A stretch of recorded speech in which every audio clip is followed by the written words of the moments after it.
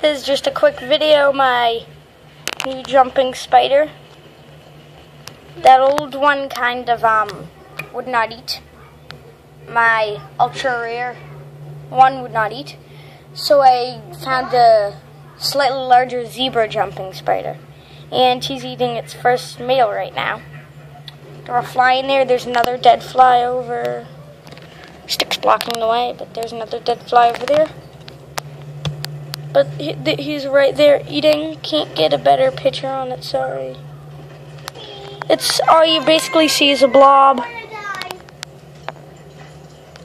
Oh, there we go. So if you look to kind of, look at how good he camouflages on the rock. So if you look towards the bottom of the black blob right there, you'll see the kind of spider showing its fangs, and then that rest of the black is the fly. Um, I think I need better sun for a better picture.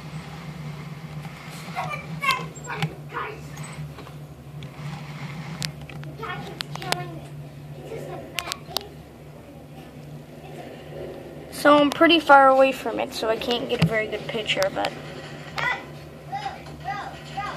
Yeah, he's dragging it around, and his abdomen has swelled to very large proportions, so... I'm probably going to feed him after three to four days, depending on when his abdomen looks smaller and larger, so... Yeah, just a quick video. See you guys next time. As always...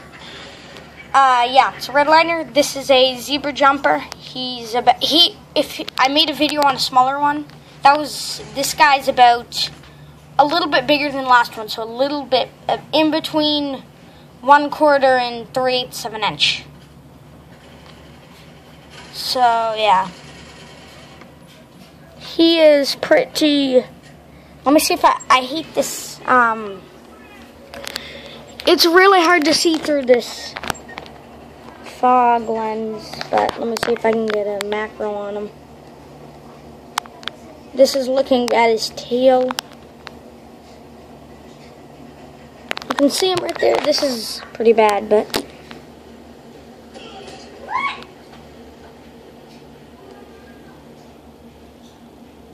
Focus. Time to macro. But yeah, if you see there, he's he's sucking down that fly, and I'm on the way of getting a better camera because this one stinks. So, yeah, this is Redliner, or Plants and Sauces, as this new channel is. I will be getting to plants soon, but um, I'm going to do some jumping spiders for a while. But this guy's definitely a keeper now of these eating stuff.